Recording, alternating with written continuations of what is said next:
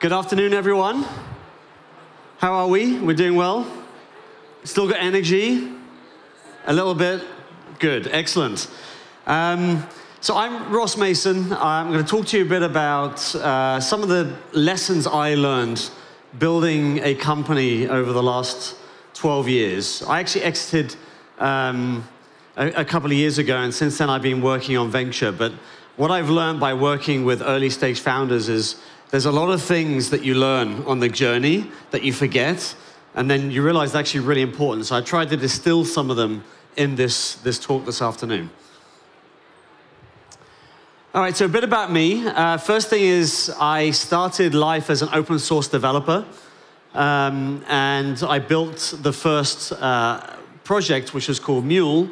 And for better for worse, by the way, when you name an open source project, it can stick with you for many, many years. I thought Mule was kind of funny, and then of course we became MuleSoft, and I had to always justify why a serious company was named after a donkey.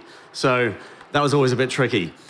Uh, but I started the open source project, and then 2006, uh, it got lots of traction, especially in banking, and we raised uh, some capital. Back then, there was no seed rounds, so you couldn't get, there was no angels, so you had to really go and raise money on some sort of market traction which today has become much easier, I think, to get started as a, uh, as a founder. And then in 2008, a bit like what's happening right now, we went through a financial crash. Um, and there were some really big learnings there just around how to communicate with your team, how to deal with things like making redundancies for those who have staff that you have to reduce. Uh, I'll talk a bit about that. And then in 2017, we went IPO. Of course, that's one of the areas where many of you want to go, right? And it was a nice, easy, straight road to get to IPO. No problems. You know, we just hired, we got customers, it all worked out flawlessly. Uh, and then amazingly, we got acquired by Salesforce in 2018. Um, so we also experienced a very large acquisition. But I'm going to start, you know, the learnings I learned were really most relevant in the first two to four years of building MuleSoft because that's kind of where most people tend to be. Um, if you want to know about later stuff, I can, you know, grab me afterwards. We can talk about it. And uh, since leaving uh, Salesforce, I actually set up a fund.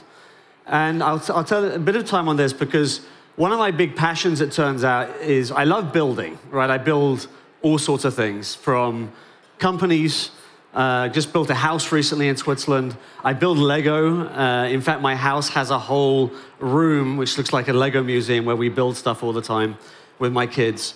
Um, i just love building. And I actually, I think about venture a bit the same way. Rather than deploying capital, I'm actually building a firm that really, really helps founders in the earlier stages uh, by providing a lot more support and guidance on a lot of the tactical stuff that founders struggle with when starting early stage companies. So this is really, if you like, my next company versus me turning VC. Just thought I'd throw it out there, so I said it. Okay, um, I think the first thing, and this is something that we tell all our founders at Dig Ventures, we've invested in 28 companies, 29 now actually to date. Um, and founders often are looking for mentors. They want to talk to people like me who've been through it and have some good guidance on hiring, on uh, building culture, expansion. That's all good, but you also want coaches and peers. Because the problem with the things that you struggle with as a founder in the early two to four years is often it's smaller, more tactical things right, about hiring your first executive, around how to run founder led sales, how to do PLG well. And the best people to speak about on those types of topics are actually your peers in market or other or coaches who are also doing roughly the same thing, but maybe just a year or two ahead of you, right? So we, we always push our founders to make sure they don't just seek exited founders as their, as their cohort of people that advise them, but really have people that are in, in the trenches with them, struggling with the same types of problems. So, you know, good exercise after this session, don't do it now, but just introduce yourself to the person next to you, and uh, hopefully you'll find some mentors and peers that way. Sorry, some peers and coaches that way. And the reason why uh, peers and coaches are better than mentors is the way they engage, right? So asking questions is far better than telling you what to do, right? So mentors tell you what they did. They don't tell you what to do, but they tell you what they did. But peers and coaches actually ask questions to help you figure out how to identify the problem in front of you and how to solve that problem. And I love that method. I do that method actually in investing as well. One of the reasons um, founders like us when we're talking to them early on before we've invested is I ask completely different questions to every other venture firm. And because I'm really trying to understand the person and the idea and the idea behind the idea. Uh, and this is just a much more effective way to get founders or anyone really to think about how to proceed with you know, whatever they want to do next. So I kind of love this, this sort of quadrant. Quality of questions, there's no magic answer to quality. You just have to get good at asking questions over time. Um, and then bias for action, as founders, uh, typically they all have a bias for action. And the people ask the best questions and have a bias for action tend to do the best. And I look for that in the founders I invest in. It certainly describes the way the person I grew into in my journey as well. Now, here's another one. Um, a lot of our companies we back really early at pre-seed. And if, if any of you, actually, quick show of hands, who is starting a company right now like you're in the first year of starting? Okay, like 20. What about, uh, how many founders in the room? Another quick show of hands. Okay. What are the rest of you doing here? I hope you're enjoying this. I hope it's good. Um, so, as early stage founders, for the, the folks that put their hand up first, quite often you end up doing some sort of pivot. And a pivot is a bad word in venture. Like, you know, investors get a bit nervous when you say I'm pivoting. But actually, what I've found uh, over the last four years of investing is pivoting isn't all bad. It's just there's a lot of assumptions you make very early on around what you can achieve as a company and then either there was a wrong assumption or the market changes a bit like right now, right? Uh, remote work was you know a, an assumption that might change a bit over the next two years and you've got to be ready for things like that. Uh, hiring uh, assumptions around that might change in terms of who you can bring in and when. Um, so uh, my learning here is pivoting itself is not hard bad but you've got to bring your company along with you. And you should also bring your investors along too. And I, I guess the, mess, the one learning I've learned is don't try and hide this stuff from people, especially in the organization, even if it means, you know, you're going, you have to go in a different direction. The people that are working on the current direction start to freak out, right? They're like, what do you mean we're not doing that anymore? That's what I do. That's, that, that's why I'm here, right? So you have, but you've got to address that immediately because if you don't address it, what you end up doing is perpetuating this sort of nervous energy inside your organization where people don't quite know where they stand. And so uh, I bring this up because probably about half of our pre seed investments end up doing some sort of pivot. And we're always telling them, like, make sure everyone knows where you are, even if you don't have the answer. Um, let them know where you are, let them know where you're heading, bring them along on the journey, and people are a lot less nervous. It makes any major changes much easier. This is sort of related, but it's actually even more important in this type of era where everything is slowing down, is transparency over authority. People often, first time CEOs in particular, suffer from this, right? First time CEOs often believe because they're the CEO, two things. They're not necessarily allowed to ask too many questions because they're supposed to know. That's not true, right? You should be asking questions all the time if you know you're worried about asking your investors, that's why you want to have peers and coaches around you because you want to be asking questions all the time. Right? So first-time CEOs suffer from this. We often suggest that CEOs get coaches to help them, you know, figure figure this bit out. But also because they lead the organization, they believe they have to shield the organization from anything bad happening. So the feel good stuff comes in, the first customers, the, the stories from users, CEOs love talking about that, but when there's this real, you know, investors say, hey, you need to get runway for the next, you know, 24, 36 months, and you think, well, I can't run for 24, 36 months on the current cash flow unless I make some cuts.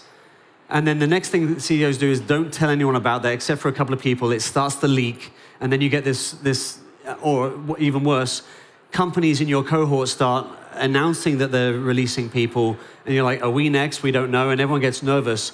Again, you want to manage that, that nervousness around. Sometimes you can say, look, we're assessing, it's fine, but don't ignore it, right? Be transparent. And then if there is a plan in place, the other thing I'd say with just hiring, because this isn't really a tip in here, but if you are going to um, make layoffs, it's much better to do it in one go than in drips and feeds. It's not in here, but I'm going to just say it because people are going through that right now. Um, it's better that you, you know, cut once and then everyone can just get back to working than you cut once and then twice. That second cut hurts you so much because everyone's waiting for the third cut. And again, organizations get nervous energy, and you want to you, you want to calm that down, make sure people understand where they are. They don't don't have to worry about something unexpected coming down the pipe. So transparency is key. All right, so I lived through the last crash, by the way. Um, actually, when I created this presentation, we weren't in a crash, but we thought we might going into one. Um, I did this at the Swiss Economic Forum, and um, I talked a bit about how to manage, manage through this. And in a crash, the first thing you want to do is not tell everyone everything's okay, right? Especially if you don't know everything's okay. Like, I hear this a lot, like, I ask founders, is like, so how, you know, how do you think Q, Q4 is going to go from a revenue standpoint? And they're like, fine, I don't think we're impacted. It's like, I don't know that's true. like, I think you might be impacted. And uh, I like to have a deeper conversation and, and make sure people are being honest. It's much better to be this defensive and say, you know what, we're going to probably reduce our targets by 30% and then only you know, miss by 25%. That's much better than not reducing and missing by 25%, right? So again, it, a lot of managing a company and a lot of like the lessons for first-time founders is getting good at being transparent, but also getting good at communicating when you don't have all the information right? I think that was the biggest learning I learned through the crash. So my story for the 2008 was we had about 4 million ARR. We're a SaaS business, and most of our customers were financial services, two of which completely disappeared in 2008. I won't name names, but like just I didn't think banks could do that. I didn't think that was possibility that a bank could disappear. Um, but it obviously is, and we've seen it again very recently with FTX, even though it's not a bank. Um, and suddenly I had some hard choices to make. And uh, my investors were pushing me. They, they, said, look, most of your customers are banks. Uh, a bunch of them have not going to renew. A bunch more might reduce their commitments. You're not making any new sales. And they said, what do you want to do? And I said, what do you mean, what do I want to do? It's like, well, uh, uh, should we, should we call it a day and, and, and, and shut it down? Uh, and I basically told them, I said, look, give me a weekend to go think about it. I went away, I went on a lot of long walks, and I realized that I, I, truly believed in the mission that we, we were on to connect the world's applications, data, and devices. That was the mission of MuleSoft. And I believe we were further ahead than anyone else in the market. What I didn't believe was that we had a customer base that we could sell to at that time. And I, I told them that. I said, look, I believe in the first two things. The third, third thing, I can't tell you we're going to drive revenue in this market because we've been focused in financial services. And because I did that, they said, great, well, we're going to back you because that makes sense. And we're going to figure out how to reduce burn. And we decided that, you know what, we're going to get rid of everyone in the organization that doesn't build software. And we'll keep building software to build a product from a year from now that will be more suitable for people other than banks. Not many people know this about MuleSoft, but it was, it was like kind of a big pivot for us. It was like we had to go and do something else. And to the organization, I explained it to them all the way through, right? I, I, I, told them that the, the you know, investors had asked me this. I told them that this is how I was thinking about it. And it was really interesting. Rather than people getting freaked out, people said, I understand. I get this, why you would do this. I don't feel like you pulled the rug from me because you have a real reason why you would get rid of anything that's customer facing and just focus on engineering because we just decided we're going to do zero revenue in 20, 2009. That was, that was the, the plan. Uh, and it worked out really well. But uh, the reason why this was a big learning for me is I agonized for like four weeks during the, the cycle of just trying to tell everyone everything was okay, even though there was you know, stories of Bear Stearns going under and you know, banks being bailed out. And I tried to hide it.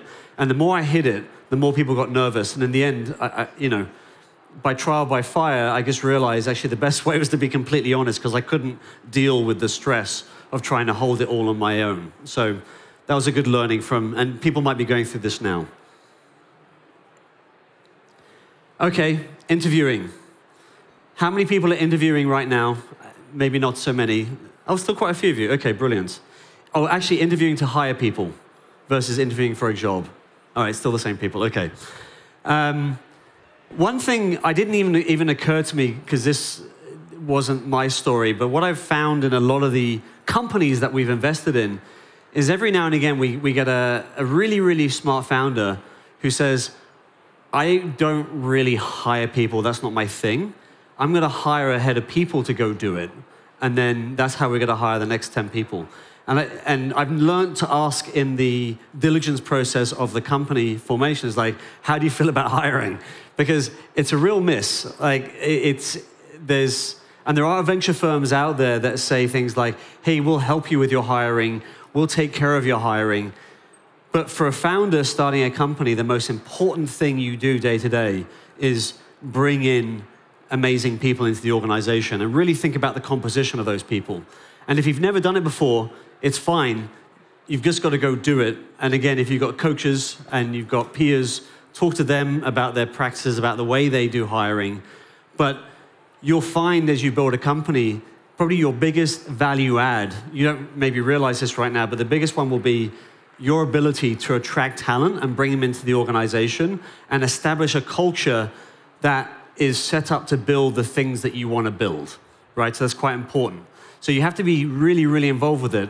And to give you some idea of how much effort this is, at MuleSoft, even at a thousand people, there was only I was still one of the interview panel for almost every hire, definitely every manager in the whole organization.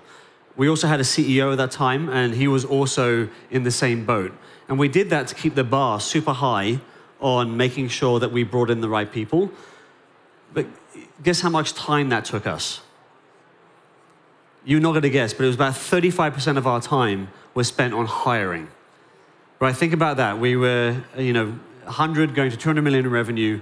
We had customers all over the world. We had offices all over the place. Yet the core exec team was still spending 35% of their time hiring, even though we had a large organization. And I'm not saying that's necessarily the right way to go, but it's actually a pretty good way to go if you want to build teams of people that execute on, uh, on what you're trying to do. And, and so, certainly when you're young, as, as a first time founder, getting really good at hiring is super important. I cannot stress this enough. I also recommend a book. This book is fantastic. It's a little bit old, actually, but I've read it again fairly recently and it still really holds true. Um, this book called Hire with Your Head just helps people understand how to decipher and ask the right questions to get the right information from people. So, the one thing I'd say is make it mandatory reading early on, read it yourself a bunch of times, and then every six months, read chapter four. Chapter four is great. If you haven't got time to read the book, it's not the end of the world. No one's got time to read books right now, I know. But chapter four is amazing because it just reminds you how to conduct a really good interview and just go in there without a biased mindset and just ask the right questions and keep digging. And so typically in an interview, I don't try and cover everything. I go deep on one thing and I really understand everything that that person did and who was around them and what they did um, to get a really good idea of how that person thinks, how they function in an organization. It allows you to understand what kind of person they are, the way they reason, and also allows you to dig into a key achievement, right? These are all the things you're looking for in an interview. Anyway, this, I, I can't stress this enough. This is probably one book you should read, but definitely chapter four. Okay, this is, this is one I think investors love. Do people know what the, the term BHAG is? Big, hairy, audacious goal. Right? Something that sounds so almost, not necessarily insane, because they sometimes they sound insane. You're like, okay, calm down. But like some really big goal that will end up defining what kind of company you end up building. And there's, there's only one type of BHAG that is great. It's one that ends up defining the way the company goes to market. And there's a, like there's some there's a couple of really good examples out there, but I, I was, uh, one of the best ones I ever heard was actually from Atlassian. People know Atlassian? Yeah, so you use them for Jira, issue management, and Confluence. I was employee number four at Atlassian. And when I walked into their office, they had this big map on the wall with like two red dots on it. And it said map of world domination. And below at the bottom, it, uh, uh, it said their target number of customers was 50,000. Right? And their goal was to get 50,000 customers, which doesn't sound like a BHAG, right? That just sounds like, oh, that's just, I want 50,000 customers. But if you peel it back, that goal caused them to make a lot of decisions that have shaped that company to the where it is today. Right? Because they had wanted 50,000 customers, they didn't want to have sales. And up until a few years ago, they had, you know, they were very, you know, they got to over a billion in revenue without sales. Or they say that, I'm not sure if that's true. But um, no sales, it meant everything had to be self-service. This is before PLG they, they decided that people should be able to just swipe a credit card, get their software, and get up and running without talking to anyone, right? If, you, if your target is 1,000 customers, it's very hard, you know, you're not going to get there because you think, well, I can get 1,000 customers by building a team of people and supporting them. But they were, no, I want 50,000, which means everything has to be self-service. You've got to be able to get successful with my software, and you've got to renew my software without me getting involved too much, right? So it just changes the way you start building the software, the way you build the support teams around it, the way you go to market, everything. Um, and I, I, I, love these missions. MuleSoft's one, by the way, just so you know, was to connect the world's applications, data, and devices. And that actually completely uh, framed the way we went to market. It meant that we had to connect to absolutely everything. The most legacy system that hasn't been touched in 50 years, all the way through to the newest open source projects. And that was our guiding light, and that's why customers loved us right? And it, it really was born out of we're a connectivity platform. We think our value proposition to the market is to be able to unlock data wherever it is and move it to where you need it in the organization. And so connecting every application, data, and device made a ton of sense for us. Oh, Tesla also has another one. Do you know what theirs is? I can't see the notes, I can't quite remember it, but they, um, it's about um, Oh, damn, I can't see my notes, so I can't tell you. But go look it up. It's really good because, again, the reason why you end up you know, building rockets that can land themselves again is because their mission was different to NASA. If NASA's mission was the same as uh, SpaceX's mission, sorry, not Tesla, then um, we might have you know, reusable rockets 15, 20 years ago. Maybe not. I don't know what the engineering challenges are, but uh, they might have been trying it. But these, the missions, these BHAGs, actually help your organization center around some ideals or some goals that allow you to build product differently, build teams differently. And so, even though it might sound a bit trite, written on a slide somewhere, um, if you live by it and you remind your organization of it and you start building things that funnel into your mission, the, the company culture really starts to hold cohesion and work much better. Okay, this is my final one, and this is super important for everyone. I failed on this one, by the way. I, uh, this is a, if, if I could do it differently again, this would be my advice, which is you really want to invest more time in yourself, and in particular in balance in yourself. The one thing I found uh, through building MuleSoft was I became increasingly more unbalanced. Not in not like psychologically, but like just in my life. I didn't go nuts in the office or anything. But you know, I first gave up hobbies, and then I, I gave up social, certain social engagements. Then I started stopped seeing my friends as much, and then as I got more busy, I didn't see my family as much. And then I had kids, and uh, you know, I was traveling a lot, and I wasn't always optimizing to see them as much as I, I would have liked. And the reality is, with MuleSoft, I also had an out, you know, an unbalanced outcome, right? You know, not everyone gets to see an exit, not everyone gets to see an exit like that. And I'm still not sure whether you have to do all the other things I said that I did in MuleSoft in order to get the outcome. But my hunch, looking at the way the world is evolving and how, how things are um, evolving in, in entrepreneurship, that you don't need to be out of balance. You just need to be doing more of the right things versus working harder at trying to figure out what the right things are. And this actually goes full circle back to having coaches and peers. Like get, having knowledge around you helps you do more smarter things, do less of the wrong things, make less mistakes. And you know, for me, balance is self-care physically. Like the best thing I, I think I did during MuleSoft is I used to run a lot, I used to cycle a lot. So even if I was tra traveling, I'd always have running shoes with me. I'd always go for a run. Uh, and amazingly, what I found out is I did my best thinking when I was running. So, um, you know, it actually works in your favor to invest here. But I will say, after MuleSoft, it took me two years to get myself rebalanced again, like get reconnect with my family and friends the right way, make myself feel like I was centered in the things I really cared about. And now, as I, do, I, I build Dig Ventures, I take that with me, right? I, I don't sacrifice everything for Dig Ventures. At some point, I say, no, I'm not doing that. I'm going to spend time with my daughter right now, and then I'm going to go for a run, and I don't care about that meeting, right? And, and you've all got to find your own path there. And I've also met people, I've spoken about this, and they've said, look, I, I do it with balance, and, and it works out well. Some people just naturally do it, but I do see, even in my portfolio of, of founders, that sometimes people start to get off, off track, and I would just say, look, this, you know, it's 12 years for me at MuleSoft. You can't go 12 years without seeing your friends or having hobbies or spending enough time with your family. Time's too short for that. So build, but just build smart. Have people around that you can help you really think about uh, the, the direct challenges in front of you and allow you to do more of the right things quicker.